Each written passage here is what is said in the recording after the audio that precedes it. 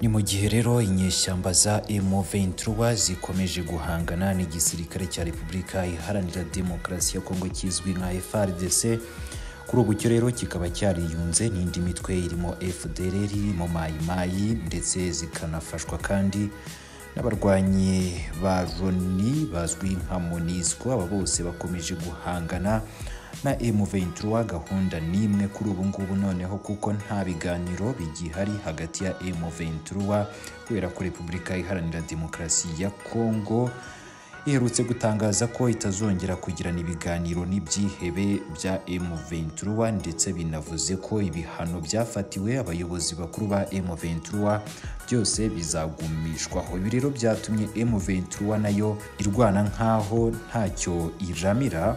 Ku buryo ihise yigarurira ibice bitandukanye turaza kugarukaho muri Rumangabo birimo nk'umujyi mukuru wa Ntamugenga nk'uko byose turaza gukomeza tubigarukaho ndetse banahita batanga ubutumwa bukomeye cyane kuri Perezida Felix Antoine Tshisekedi ku munsi w'ejo wemeje ko agiye guhangana na M23 akayirukana. Mu gihugu cya Repubulika Iharanira Demokarasi ya Kongo uyu mutwe uvuga ko ari igihugu cyayo ndetse ko wanahoze mu ngabo z'iki gihugu bityo rero ko nawo ugiye kurwana nk'uko byose turaza gukomeza tubigarukaho. Nongeye kuguha ikaze rero muri aya makuru uh, n'ubundi araza kwibanda ku bihano bikarishye Loni yafatiye.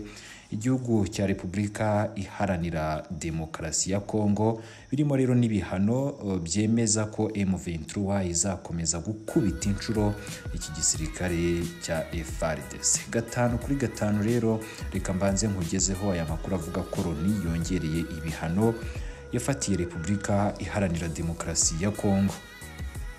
Ni akanama gashinzwe umutekano mu muryango w'abibumbye kongereye ibihano kafatiye repubulika iharanira demokarasi ya kongo mu gihe cy'umwaka umwe. Ibihano bya repubulika iharanira demokarasi ya kongo byo byongerewe mu nama ya kariya kanama yateranye kuri uyu wa gatanu tariki ya mirongo itatu kamena i new york muri leta zunze ubumwe za amerika. Ibihugu. Icumi birimo ubuhinde mexique brazil ndetse na leta zunze ubumwe z'abarabu ni byo byashyigikiye ko ibihano byahawe repubulika iharanira demokarasi ya kongo byongerwa. Ibihugu bitatu bya afurika birimo ghana gabo ndetse na kenya byo ni ibihugu byagaragaje ko bitishimiye kiriya cyemezo. Ibyo bihugu kandi byiyongera ku burusiya ndetse n'ubushinwa byo byamaganye kiriya cyemezo. Bikavuga ko gihonyoza ubusugire bwa repubulika iharanira demokarasi ya kongo ibihano iki gihugu cy'abaturanyi cya kongo cyafatiwe birimo ibiyikumira kugura intwaro.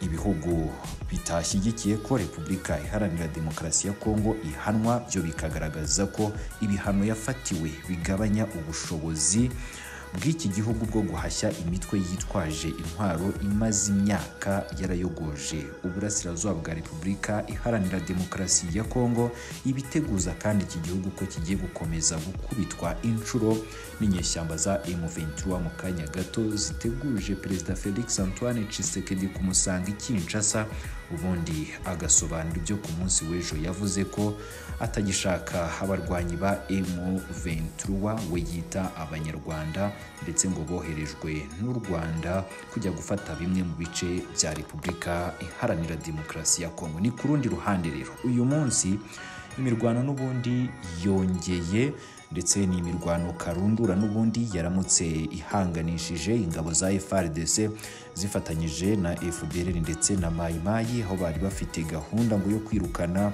M23 mu birindiro byayo biza kurangira. Aba barwanyi ba M23 bakubise FARDC yari ifatanyije na Nyatura ndetse na FDLR ku buryo ngo bamaze guhunga noneho berekeza mu muhanda wa Goma.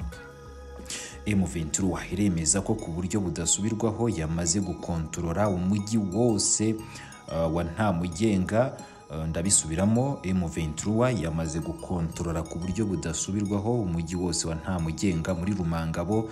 Ndetse baravuga ko maginga yabiteguye no kwisubiza ikigo cya Rumangabo ngo nubwo hari abarwanyi ba FDLR bakirinze bagikomeje guhangana barasana na M23 gusa yo ikaba itangaje ko mu gihe cya vuba iba yigaruriye iki kigo cya cya rumangabo ni ikigo gikomeye cyane muri kivu y'amajyaruguru. M23 igatanga ubutumwa bukomeye cyane kuri repubulika iharanira demokarasi ya kongo ko mu gihe noneho banze kujya mu biganiro ndetse bagafata M23 nk'umutwe w'iterabwoba batazigera bicarana wo mu biganiro M23 kuri ubu noneho ikaba yiteguye gusanga Tshisekedi mu mujyi wa Kinshasa ubundi hakagira ibyo baganiraho binakubiye ku masezerano bagiranye we ubwe ku giti cye. Ni amasezerano y'ibanga twagarutseho. Yarimo ko M23 igomba kuzashinga umutwe karundura wo kurandura indi mitwe yose yitwaje intwaro ikorera mu burasirazuba bwa Repubulika iharanira demokarasi ya Kongo. Aya ni amasezerano M23 yemeza ko yagiranye na Tshisekedi mbere ndetse na nyuma y'uko agiye ku butegetsi ariko ngo aho amaze kugira ku butegetsi akaba yarabagambaniye ndetse arabihinduka ibyanatumye rero nabo bongera guterura intwaro. Ngayo nguko rero nguko uko byifashe gusa hagati aho perezida felix antoine Tshisekedi we ku munsi w'ejo ubwo yari mu muhango wo kwizihiza ku nshuro ya mirongo itandatu na kabiri umunsi w'ubwigenge Tshisekedi yemeje ko u Rwanda rwamuteye ngo rubinyujije mu mutwe wa M23 ndetse arahirira. Noneho kwirukana abo yise abanyarwanda ku butaka bwe mu gihe, uh, cya vuba ndetse yongeraho ko mbere y'uko ajya ku butegetsi ngo yahaye isezerano abaturage bamutoye ko agomba kugarura amahoro n'umutekano mu burasirazuba bwa repubulika iharanira demokarasi ya kongo yongera rero kubibutsa ko mu gihe cya vuba ahangaha bayirukanye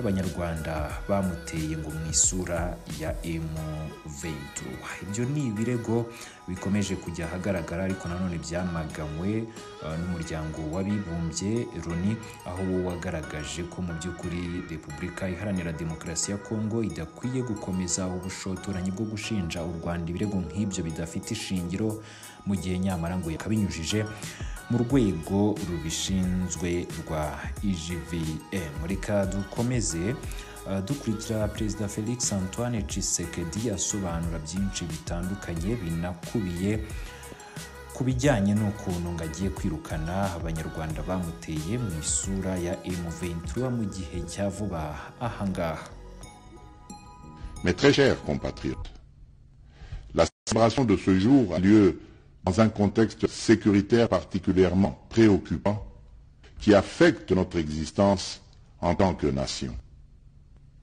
Comme nous le savons, notre pays fait face à une énième agression de la part du Rwanda qui agit sous couvert du mouvement terroriste M23 et ce, en violation de tous les accords et traités internationaux. À ce sujet, garant de l'unité et de la cohésion nationale, je réitère mon serment constitutionnel de maintenir l'indépendance et l'intégrité territoriale et de sauvegarder l'unité nationale. Je rassure le peuple congolais, dans toute sa diversité, que je ménagerai aucun effort pour que la paix et la sécurité soient rétablies et que les agresseurs soient repoussés hors de notre territoire. Dans le même sens, j'appelle chacun de nous à considérer l'intégrité de notre territoire comme une question vitale pour laquelle nous n'admettrons ni transaction ni compromission. C'est ici le lieu de rappeler que notre option pour la paix et notre sens de relation de bon voisinage ne constituent pas une faiblesse. Les Congolais, peuple épris de paix et de justice, n'accepteront aucunement d'être agressés constamment. Pour imposer cette paix que nous appelons de tous nos voeux, nous userons de toutes les voies de droit nous reconnues pour que le peuple congolais vive définitivement dans la paix et la quiétude sur son sol. Inama y'umuryango w'abibumbye ishinzwe umutekano ku isi yasabye imitwe yose irwanira mu burasirazuba bwa repubulika ya demokarasi ya kongo gushyira intwaro hasi. Intumwa idasanzwe y'umunyamabanga mukuru w'uwo muryango madame bintu keyita yabwiye inama ya onu ishinzwe umutekano ku isi ko kwiyongera kw'imitwe yitwaje intwaro harimo n'umutwe wa M23 muri icyo gihugu bibangamiye amahoro n'umutekano by'uburasirazuba bwa repubulika ya demokarasi ya kongo ndetse n'akarere kose muri rusange. Kampala iginashusi bahizi Binto Keita yabwiye inteko ko bibabaje kubona umutekano w'uburasirazuba bwa Kongo wifashe nabi cyane cyane kubera ibitero bikaze by'abarwanyi ba ma makumyabiri na gatatu ku basivile igisirikare cya leta hamwe no kuri MONUSCO.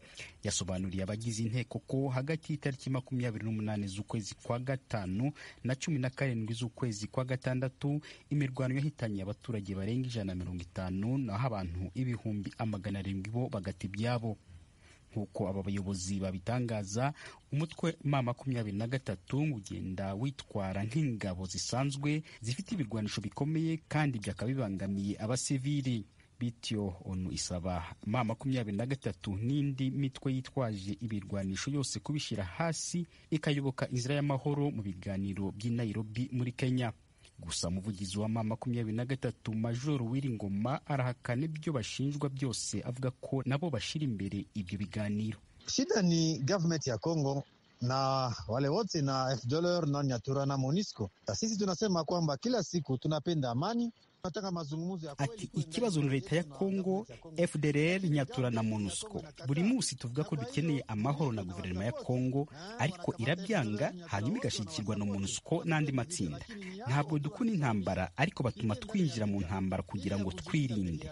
Kuvuga ko twica abasivile ni ibinyoma byambaye ubusa. FRDC, FDLR, MONUSCO n'imiryango itegamiye kuri leta bose bakorana kugira ngo kugira ngo badusiga imbyiro. Nta munsi n'umwe twagiye kwica abaturage. Abo ni ababyeyi bacu ni abavandimwe bacu. Benshi mu basirikare bacu bava muri ako karere ntibashobora kwica ababo.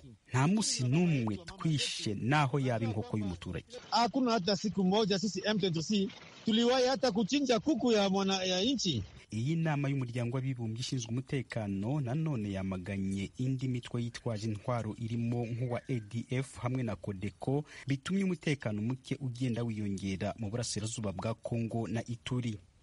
Uhagarariye Repubulika ya Demokarasi ya Kongo muri ONU George Nzongora Ntaraja yavuze ko urebye uko umutwe wa ma makumyabiri na gatatu wari waratsinzwe na FRDC na MONUSCO mu bibiri na cumi na gatatu ubu uwo mutwe akaba wongeye kubuka ufite ibikoresho bya gisirikare bikomeye kuruta iby'ingabo za leta na MONUSCO akaba ufite n'ubushobozi bwo kurasa akajugujugu ya gisirikare byemeza ko hari umuntu uri inyuma yawo. Niko kubaza bari muri iyo nteko ya ONU impamvu imiryango mpuzamahanga na Loni badashaka guhuza uwo mutwe n'u Rwanda.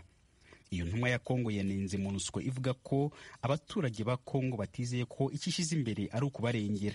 Yagaragaje ko yizeye inzira y'i Nairobi iyobowe na Perezida Kenyatta hamwe na gahunda y'umuryango nyafurika yo gukemura amakimbirane hagati ya Perezida Paul Kagame w'u Rwanda na Felix Tshisekedi wa Kongo yunganirwa na Perezida wa Angola.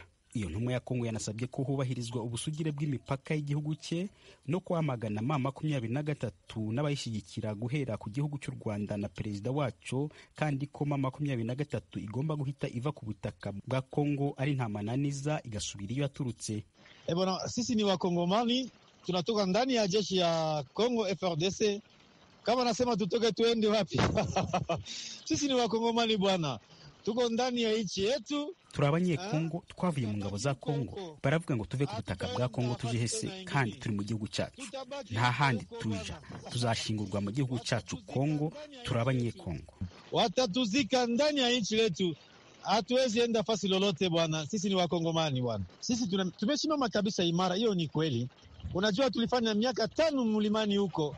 Sisi ni jeshi kamilifu jeshi letu ya M23 ati ikigaragara ni uko dukomeye turi igisirikare gikomeye cyane. tumaze imyaka itanu mu ishyamba abasirikare benshi ba ma makumyabiri na gatatu baturutse mu gisirikare cy'igihugu FRDC bazi icyo gukora.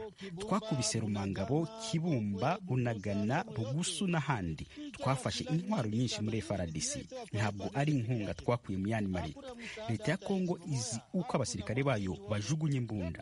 Bataye n'imbunda y'igifaru. Ubwo se nidutangira kuyikoresha bazavuga ngo twayikuye muri Eritrea cyangwa Mali de combat T50 tutaitengeneza kesho, tutaitembeza, tutapika hiyo silaha.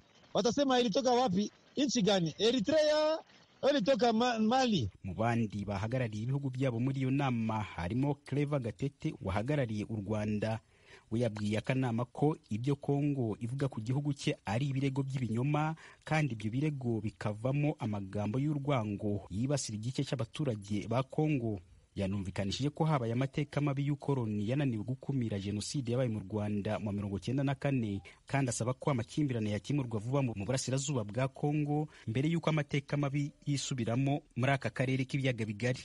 Ibihugu byose byari bihagarariwe muri iyo nama byagize icyo bivuga ku makimbirane akomeje mu burasirazuba bwa Kongo cyane cyane byamagana ihohoterwa ry'abaturage n'ibitero kuri MONUSCO. Byahamagariye kandi imitwe yose yitwaje intwaro kuzishyira hasi binongera kwamagana imvugo y'urwango n'ibitero byibasira igice kimwe cy'abaturage ba Kongo Ignatius Bahizi ijwi ry'Amerika Uganda.